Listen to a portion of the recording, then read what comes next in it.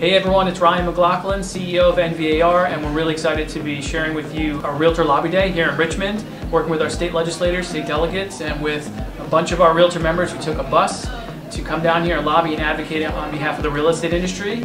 Uh, and thank you to Josh Veverka, our Senior Government Affairs Director, who put together this program today. Josh, what do we have lined up for today? So uh, today's great. You know, we've got 55 realtors here, I think, and you know, I, I always love the energy that we have at Lobby Day, and everyone's learning about what's going on in the General Assembly. We've had um, you know, a handful of legislators, I think six or seven legislators, uh, House members and Senate members come in and speak to our group talk about their priorities, how the legislation's uh, going this session.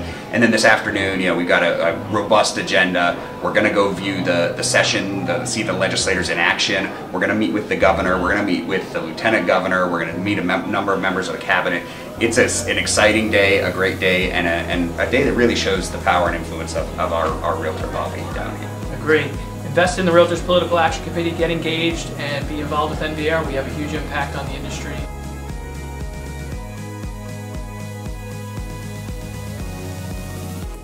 Hi, I'm Christine Richardson and I'm here at Lobby Day in 2024.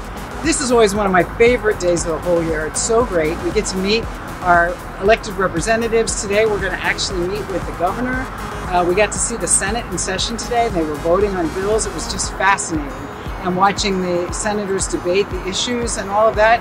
They announced us in the Senate. Senator Jennifer Boysko stood up and announced the Northern Virginia Association of Realtors, and they all clapped for us, and so that was fun. But it's always just such a great day to spend time with your fellow realtors and also get to watch laws being made. It's a great day. Highly recommended.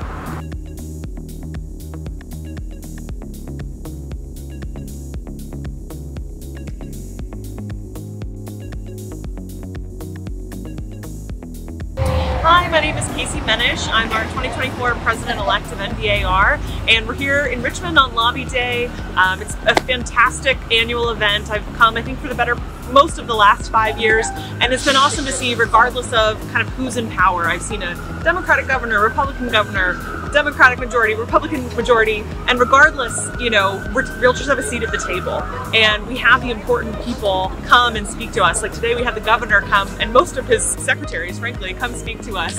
Um, and so it's just awesome to see what realtors are able to accomplish when we come together.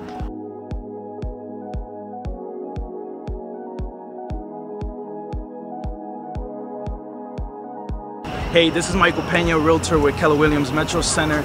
I just want to give a shout out to NVAR. This was an amazing day. I loved coming here and experiencing the, the, the atmosphere, the energy of the, uh, um, the governmentship of, of, Virginia and getting to know the senators and lieutenant governor and it was just amazing. And obviously be part of this group, amazing realtors that I'm with uh, in the Leadership Institute. So shout out to NVAR putting this together and I'll see you at the next one. This is who we are.